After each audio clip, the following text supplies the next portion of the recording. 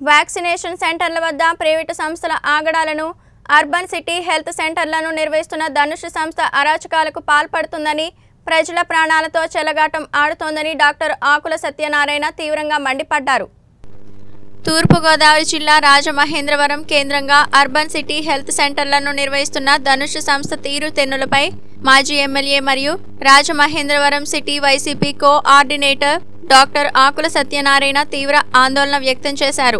నిన్న ఒక్కరోజే Covid vaccination సెంటర్ల వద్ద రద్దీని నియంత్రించడానికి కనీస వసతులు వంటి వాటిని పట్టించుకోకుండా ప్రజల ప్రాణాలతో ధనుష్ సంస్థ ఆటలాడుతోందని వైద్య ఆరోగ్య శాఖ అధికారులు ధనుష్ సంస్థ నిర్వాకంపై చూసి చూడనట్లు ఉంటున్నారని దీనిని ముఖ్యమంత్రి మరియు వైద్య ఆరోగ్య శాఖ మంత్రి దృష్టికి తీసుకెళ్తామని తెలిపారు.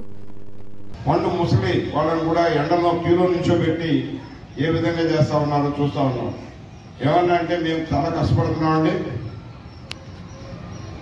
అయ్యా మెడికల్ అండ్ హెల్త్ డిపార్ట్మెంట్ అలాగే అడ్మినిస్ట్రేటివ్ ఎవరైతే జాయింట్ కలెక్టర్స్ కానీ ఇవన్నీ రివ్యూ చేస్తూ ఉన్నారో గమనించండి కావాల్సే నేను ఇవాళ నిన్న అంత కష్టపడి పొద్దున్న నుంచి సాయంత్రం మధ్యాహ్నం వరకు కూడా సాయంత్రం మూడు గంటలు మూడున్నర వరకు కూడా ఇచ్చిన డోసులు రాజమహేంద్రవరంలో కేవలం ఎనిమిది వందల డోసులు. ఎంత టైంలో పెట్టారు? పది గంటలకు మొదలు పెట్టి మూడున్నర వరకు. ఇవాళ నేను చెప్తా ఉన్నా రాజమండ్రి ఐఎంఏ నిద్రపోలేదు ఎప్పుడు కూడా సహాయం చేయడానికి ముందుంటుంది. నర్సింగ్ స్టాఫ్ ఎవరైనా కూడా ముందుకొచ్చారు. నేను ఇవాళ మీ మీ ముఖంగా మీ పత్రికా ముఖంగా కూడా ప్రజలందరికీ తెలియజేయాలనుకున్నది ఏంటంటే అలాగే ప్రభుత్వంలో ఉన్న అధికారులు పర్మిషన్ గ్రాంట్ చేయాలండి.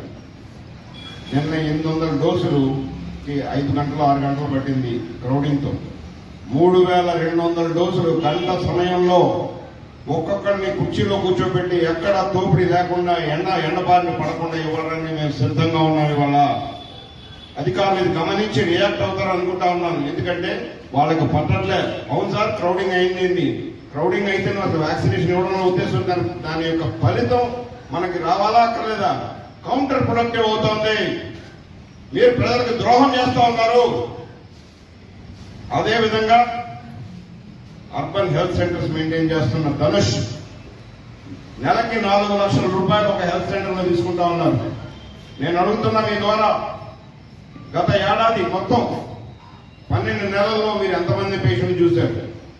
మీకు వచ్చిన నలభై ఐదు లక్షలు లేదా ముప్పై ఆరు లక్షలు ఏదైనా కానివ్వండి. మీరు తీసుకున్న సొమ్ముకి గారి దగ్గరికి తీసుకెళ్తా. హెల్త్ మినిస్టర్ గారి దగ్గర తీసుకెళ్తా. ఏ విధంగా వీళ్ళందరూ పేమెంట్స్ కూడా ఆపాలని కూడా చెప్తా ఉన్నా. నాలుగు లక్షలు అంటే ఎంతమందిని చూడాలి? మీరు లెక్కేయండి. ఐదు వందల రూపాయలు కన్సల్టేషన్ వేసుకొని పోని. పేద పేద ప్రజానికానికి కొంతమంది డాక్టర్ ఎంబీబీఎస్ డాక్టర్ అయితే వంద రూపాయలు కన్సల్టేషన్- కన్సల్టేషన్ అంటే నలభై వేల మందిని చూడాలి. వీళ్ళు నాలుగు వందల మందిని సరిగ్గా చూడట్లేదు. నలభై వేల మంది ఎక్కడ? నాలుగు వందల మంది ఎక్కడ? ఏ విధంగా ప్రజాధనం దుర్వినియోగం అవుతుందో మీరు తమనంతా కూడా గమనించి పాత్రికేయ మిత్రుల్లో చైతన్యం తక్కువేం కాదు. మనసు పెడితే ఇటువంటి అంకెలన్నీ కూడా బయట